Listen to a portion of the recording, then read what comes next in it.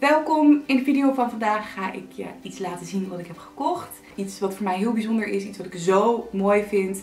En ja, ik vond wel dat dit een eigen video verdiende. Ik zat er ook al een tijdje mee dat ik weer een keer een What's in My Bag wilde filmen. Dus het leek me heel leuk om een unboxing van deze tas, het is een nieuwe tas, te combineren met een What's in My Bag. Nou, zoals je waarschijnlijk wel weet verzamel ik tassen, designertassen. En ik zag onlangs deze tas van Dior verschijnen op online eh, media, op social media, op Instagram. En toen ik deze tas zag, dat ik echt, ja, was gewoon alsof een vonk oversloeg. Ik weet niet of het ook voor de Dior zo voelde, maar voor mij in ieder geval wel. Dit is echt alles wat ik nog zocht in mijn tas. Je kent waarschijnlijk wel de klassieke Chanel flapback. En hoewel ik die ook heel mooi vond, is de kwaliteit van Chanel me tot nu toe wel een beetje tegengevallen. En ik vond hem iets te klassiek. En dat gold eigenlijk ook wel voor de tassen van Dior. Die vond ik ook iets te klassiek. Maar ze hebben sinds uh, ongeveer een jaar nu een nieuwe designer.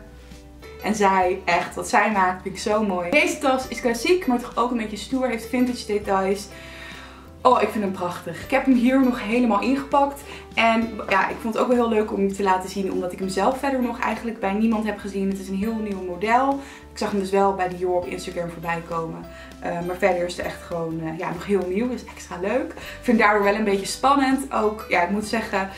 Al toen ik hem net gekocht had, was ik gewoon echt misselijk ervan. Het is ook mijn meest dure tas uh, tot nu toe. Als ik er naar kijk, denk ik echt van ja, dit is gewoon helemaal perfect en helemaal wat ik nog zocht. En ik wil daarom heel graag de tas unboxen. Eindelijk kan ik hem uitpakken. Oh, het is toch altijd een beetje spannend dat je de tas uitpakt. Of dat je dan de doos meteen uitpakt en dan zit er iets anders in. Daar ben ik altijd bang voor. Dat ik het open en ik denk, nee, dit, dit had ik niet gekocht.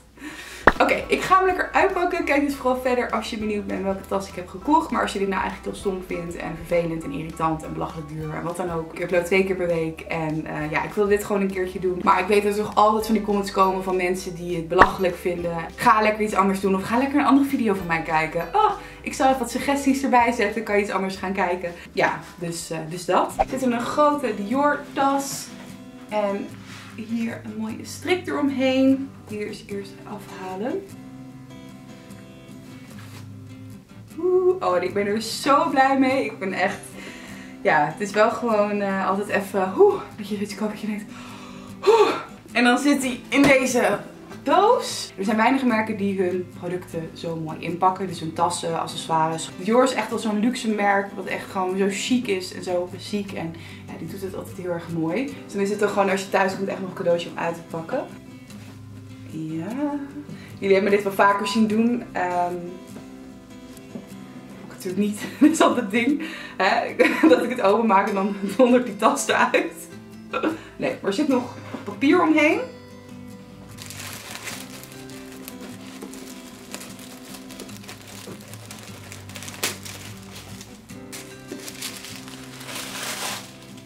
Nou, je ziet de ketting al.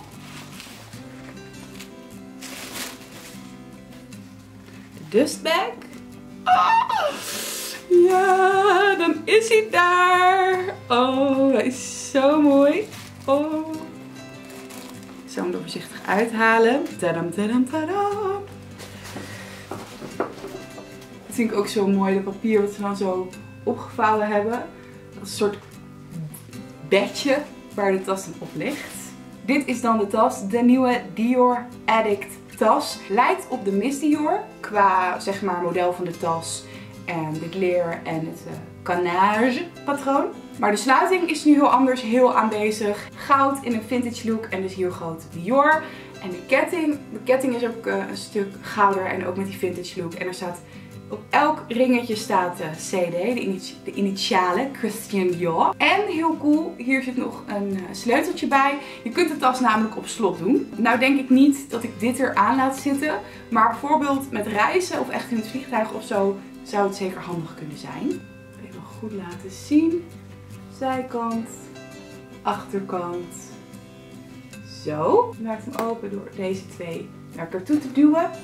Dan heb je hier de flap. Dan is dit de binnenkant. Er waren twee formaten, een klein en een medium formaat. En ik heb gekozen voor het medium formaat.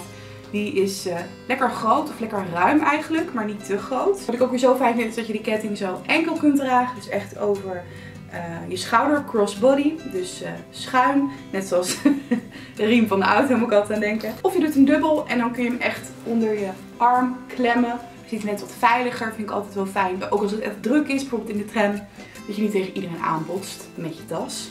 Ja, zo mooi. En ik vind de binnenkant ook zo mooi. Misschien denk je de binnenkant. Maar echt, maar kijk. Zo mooi met dat suède.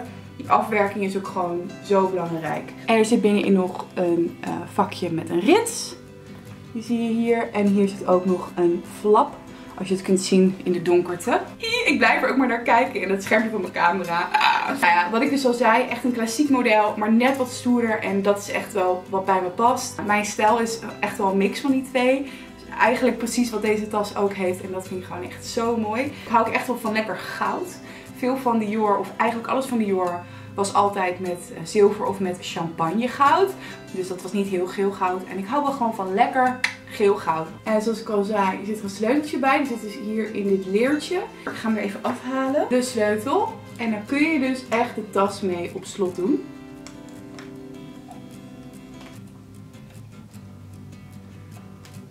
Ja.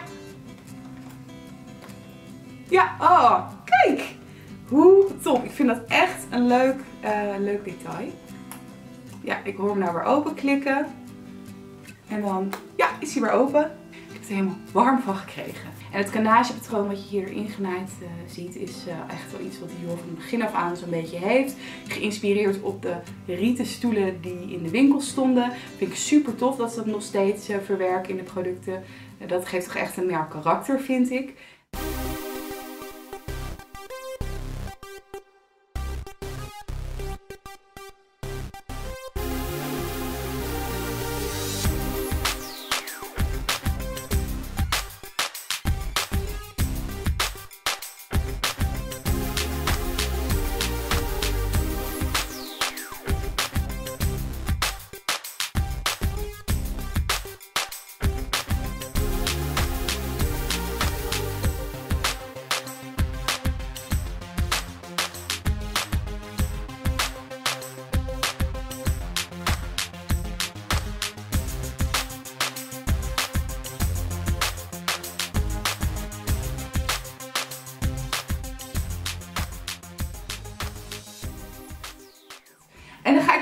Even mijn spulletjes erin doen. Ik ga zo naar de stad, ik ga lekker lunchen buiten de deur. Dus ik ga hem gelijk helemaal installeren, zullen we maar zeggen.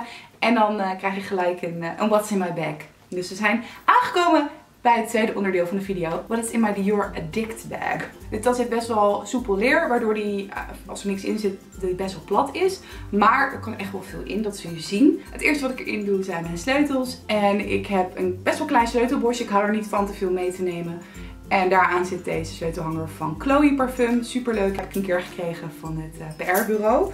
Nou, die gaat erin. Die doe ik in het vakje met de rit, zodat hij niet de andere dingetjes in mijn tas beschadigt. Mijn paspoort. Ik heb geen ID-kaart, dus mijn paspoort gaat erin. En die doe ik in het voorste flapje van de tas. Mijn portemonnee, die is ook van Dior, heb ik gekregen van uh, Jeffrey met kerst. Super mooi. Ik vind een heel mooie combinatie van het zilveren metallic leer en gouden hardware.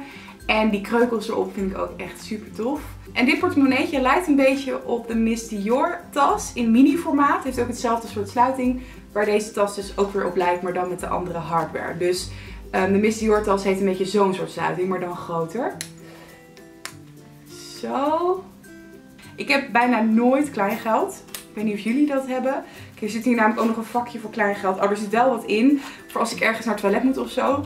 Uh, maar verder pin ik eigenlijk altijd. Die gaat erin. Past er prachtig in. Zo. Dan heb ik dit kleine hoesje voor mijn spiegeltje. Het spiegeltje is van Chanel. Heb ik op aanraden van een vriendin gekocht. Dit is echt zo'n goed spiegeltje. Uh, er zitten twee spiegels in. Een normale en een vergrotende spiegel.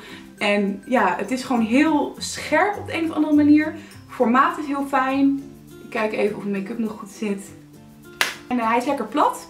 En in dat hoesje heb ik ook nog uh, dit sponsje. Dit is zo'n blottingsponsje. Dus hiermee als mijn T-zone gaat glimmen door de dag heen. Wat nu het warmer is, wat meer gebeurt. Hij wiebelt ook zo lekker. Heel fijn om uh, te gebruiken, om bij me te hebben. Dus die heb ik samen in het, in het hoesje zitten. Daar zit eigenlijk ook nog een heel, heel ding omheen, maar dat vind ik niet handig. Die gaan ook in de tas. Naast mijn portemonnee. Over chipkaart heb ik altijd los erin zitten Vind ik wel zo makkelijk met in- en uitchecken. Twee lipsticks. De lipstick die ik vandaag op heb. Nee, dit is niet de lipstick die ik vandaag op heb. Het is wel een Ofra lipstick. Maar dit is de kleur Aries. Die ik ook heel mooi vind. Maar die is iets oranjener. En ik heb nu Nude Potion op. En die is wat bleker. Wat lichter nog. Ik vind de liquid lipsticks van Ofra heel fijn. Heel fijn dragen. Blijf lang zitten. En ik vind de kleuren erg mooi. Oh! En ik zie nu Nude Potion nog ernaast. Deze gaat er ook in. Die heb ik uh, nu op. Deze kleur, erg mooi. Die zit tussen mijn portemonnee en het spiegeltje in. En natuurlijk mijn telefoon. Ik heb een iPhone 7 Plus in het roze goud. Ja, ik moet zeggen, ik had altijd een gewone iPhone. Dus zeg maar het normale formaat. En de Plus bevalt me best wel goed. Alleen in mijn hand krijg ik af en toe een beetje last van. Een beetje zo'n iPhone hand krijg. En dat had ik met de kleinere modellen had ik dat nooit. Maar het is een hele mooie camera die hele mooie foto's met diepte kan maken. Daarvoor heb ik hem voornamelijk gekocht voor de Instagram. Ja, dus die gaat er ook in. Parfum van Chanel. Het is een hele mooie reisflacon. Het is een mooie reisflacon. eh, dit is uh, Coco Mademoiselle. Het lijkt net een lipstick, maar het is dus een parfum. Dan heb ik mijn oortjes nog. Die heb ik al een, uh, een paar jaar inmiddels. Van uh, Beats by Dre zijn dit. Uh, mijn Nicki Minaj samenwerking die ze hadden. Lekker roze. En ik kan deze echt niet missen als ik onderweg ben. Zeker als ik met de trein ga. Oh, een treinreis duurt zoveel langer als ik geen muziek kan luisteren. Die gaan ook mee en het super fijn. Um, dit koord is uh, lekker dik, wel plat, maar dik. En daardoor gaan ze niet in de knoop. En die doe ik in het ritsvakje. En dan als laatste voor verzorging van de nagelriemen. Uh, mijn nagelriempen. En deze is, als ik me niet vergis, van Kruidvat, maar de tekst is helemaal afgesleten. Ik heb altijd hele droge nagelriemen.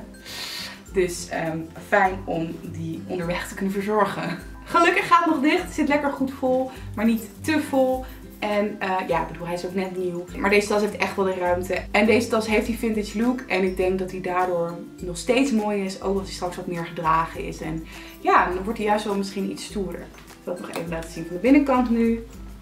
Alles zit erin. Alles zit goed mooi op een plek. Ja, het past er gewoon heel mooi in allemaal. Dus ik ben daar heel erg blij mee. En ik neem ook nooit te veel mee. Vind ik gewoon niet fijn. Ik wil eigenlijk alleen nog mijn nagelvel. Ik wil nog even mijn nagelvel. Mijn nagelvel is wel echt ook essentieel voor mij. Nog meer dan mijn nagelriem uh, crème of olie. Want uh, ik mijn nagels echt, joh. Ik heb zo vaak gescheurde nagels. Dus die gaat er nog even bij. Nou, dat is hem dan mijn nieuwe Dior Addict bag. Dior Addict of Dior Addict. Ik ben er waanzinnig blij mee. Al mijn spulletjes zitten er nu lekker in. Ik ga hem vandaag voor het eerst gebruiken. En je zal waarschijnlijk nog wel voorbij zien komen op Instagram. Mijn outfit post of wat dan ook. Ik heb hem gekocht bij uh, de Dior boutique in de Bijkorf. Zo mooi.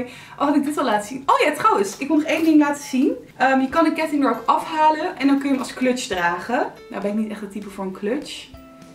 Maar kijk. Ik ga het nu even niet eraf halen. Maar dat kan dus wel. Mocht je dat uh, nog fijn vinden. En dan kun je er ook eventueel nog een andere strap aan doen als je dat leuk vindt. Ik vind dit persoonlijk wel heel mooi. Ik hou heel erg van die kettingen.